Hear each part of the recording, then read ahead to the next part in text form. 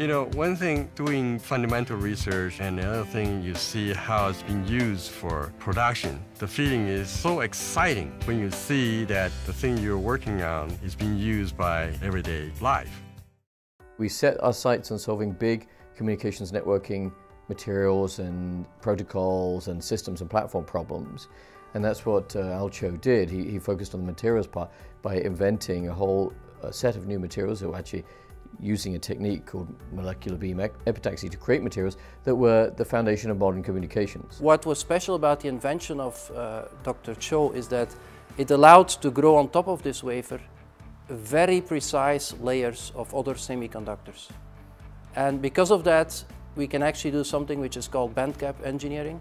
So you can actually have the, this wafer is actually a crystal. And the layers which are grown on top, they actually maintain the crystal structure.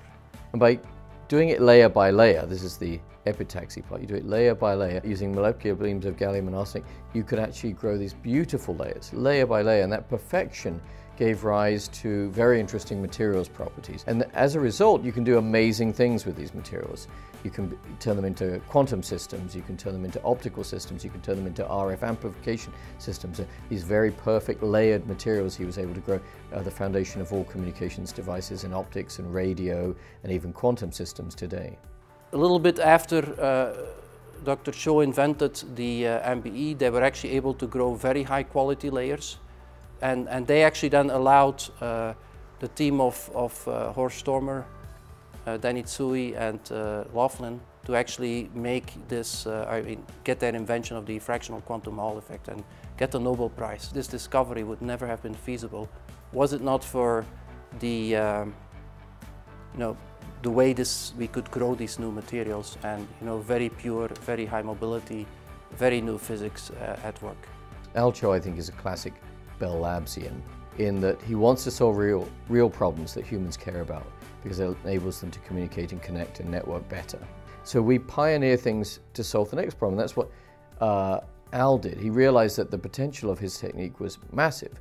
So kept building and testing and and building new devices and experimenting with those new devices, and then explored each of those dimensions, as I said, in optics, in radio. So your cell phone has many of Al's devices in it. Your lasers have many of Al's devices in it. Uh, and then quantum systems, completely separate sort of new computing paradigm, he explored those. So, so the idea of doing that, to, to find the new, to increase knowledge but find new things, that's classic Bell Labs. And so I think Al remains a strong proponent of hard work is the advantage everyone has. You can always say moments of inspiration and genius and whatever, and happenstance are the things you don't control. But hard work is your greatest advantage, and everyone has that advantage.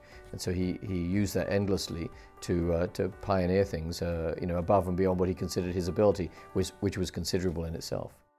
In Bell Laboratories, we work with many, many outstanding scientists engineers together and collaborating is to enjoy the excitement of new discoveries